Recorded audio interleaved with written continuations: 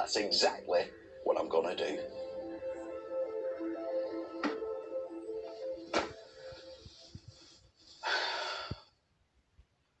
This is a massive deal for me.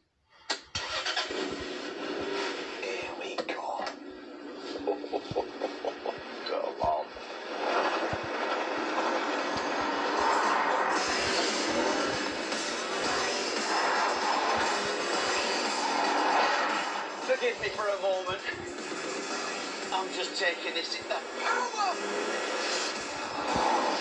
What? Oh.